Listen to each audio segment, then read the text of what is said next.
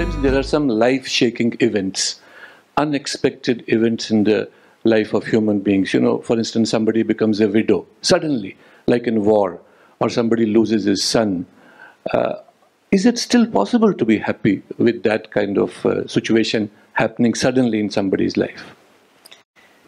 Absolutely. Life shaking events are always happening. The people who succeeded in life, they also had such reversals.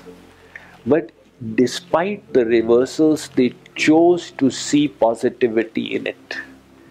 The example is given of Viktor Frankl. Have you heard the name of Viktor Frankl? He was a Jew in Austria in the 1930s. And when Hitler started oppressing the Jews and rounding them up and putting them in concentration camps, along with his family members, he was thrown in Auschwitz, which was the most severe concentration camp.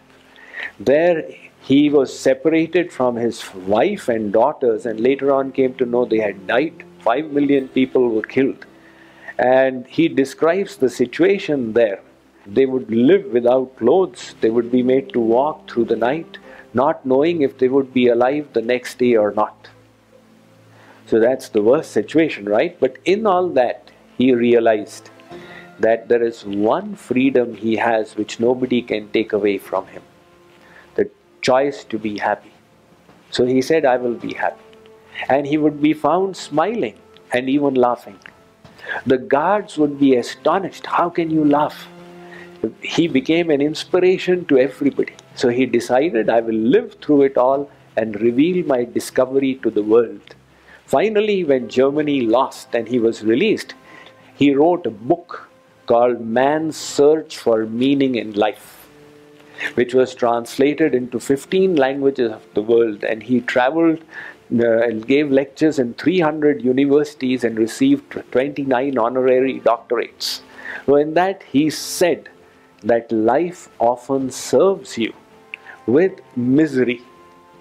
But one choice that you always have is how you respond to it. Alright? No matter what, you can always choose to be happy. And how do you choose to be happy? If you change your definition of success, make it your definition, I want to grow from inside. And then you will see this difficult situation is helping you become a better person from within. It's helping you improve your own mental abilities. As the saying goes in English, I prayed to God for wisdom. He gave me problems to solve and become wise. I prayed to Him for strength. He gave me obstacles to surmount that I may become strong. I prayed to Him for courage. He gave me dangers to overcome and become courageous.